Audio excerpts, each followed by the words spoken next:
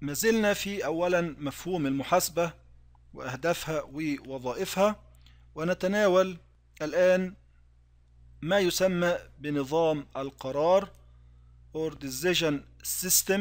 نتناول في هذه الجزئية كيف يتم اتخاذ القرار. ذكرنا سابقا أن نظام المعلومات المحاسبي يهدف إلى توفير أو إنتاج المعلومات وأن هذه المعلومات يستفيد منها الأطراف ذات العلاقة بالوحدة الاقتصادية لكي تساعدهم في اتخاذ القرارات الخاصة بهم. فيبقى التساؤل كيف يتم ذلك؟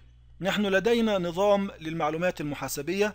ذكرنا أنه يتكون من المدخلات ثم تشغيل ثم المخرجات.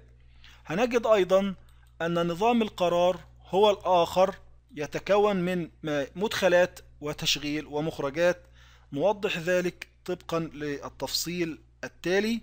هنشوف شكل كده يبين لنا العلاقة بين النظام المحاسبي ونظام القرار. ده النظام المحاسبي Accounting System or Accounting Information System اللي هو كان نظام المعلومات المحاسبي. ذكرنا أنه يتكون من المدخلات اللي هي كانت بتتمثل في البيانات الكمية. ثم عندما قيامنا بمرحلة التشغيل المحاسبي أو التي سميت بالقياس كان لدينا اعتراف ثم قياس كمي ثم تسجيل لكل العمليات ثم فرزها أو تبويبها أو تصنيفها ثم في النهاية عرض وتقديم هذه المعلومات التي تم الوصول إليها من خلال المخرجات اللي هي اسمها المعلومات الكمية أو المعلومات المالية الكمية التي تتضمنها أو تحتويها التقارير المالية. هذه المعلومات هي مخرجات نظام المعلومات المحاسبي لكنها هي نفسها سوف تستخدم كمدخلات لنظام آخر وهو نظام القرار اللي هو Decision System أو بمعنى أصح الإجراءات التي يقوم بها متخذ القرارات أو الأطراف ذات العلاقة بالوحدة الاقتصادية كيف يقوم باتخاذ القرارات؟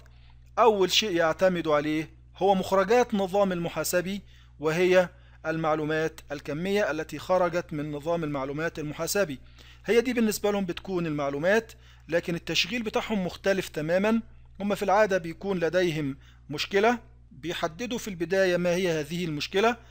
هذه المشكلة لديها مجموعة من الحلول المقترحة بنحددها في البداية وتسمى بالبدائل. ثم بعد ذلك نقوم بتقييم أي من هذه البدائل هو الذي يصلح.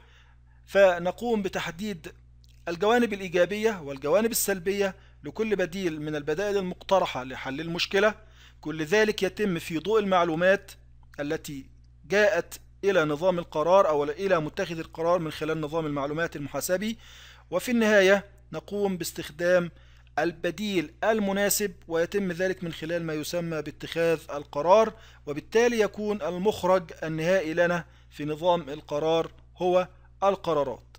طبعا أدي بنقول إن ده العلاقة بين النظام المحاسبي ونظام القرار. اذا نظام المعلومات المحاسبي وإن كان له مخرجات إلا أن هذه المخرجات أصبحت مدخلات لدى نظام آخر وهكذا عادة ما يكون مدخلات أي نظام هي في العادة مخرجات من نظام آخر ومخرجات كل نظام هي مدخلات لنظام آخر يليه